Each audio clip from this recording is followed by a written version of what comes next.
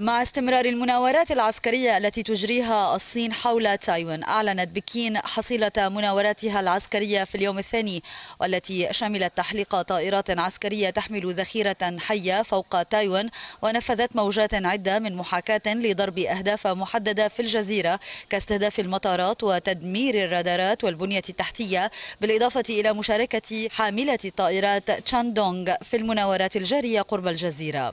اليابان من جانبها أكدت أن حاملة الطائرات الصينية شاندونغ أجرت عمليات في المياه القريبة من جزيرة أوكيناوا اليابانية مضيفة أن القطع البحرية الصينية اقتربت لمسافة 230 كيلومترا من جزيرة ميكاو اليابانية.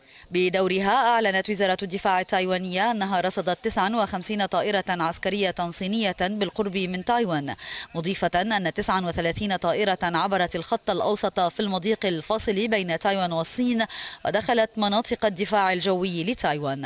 وأدان بيان وزارة الدفاع التايوانية المناورات الصينية وأكد أنها تهدف لزعزعة استقرار المنطقة.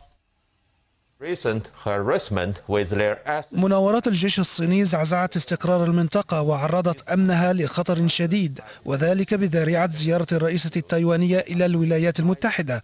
نؤكد أن تايوان ليس لديها النية لتصعيد الموقف لكننا نشدد على أن قواتنا المسلحة ستحافظ على سيادتنا وأمننا القومي بطريقة عقلانية ومدروسة ونؤكد أن قواتنا المسلحة في حالة تأهب قصوى.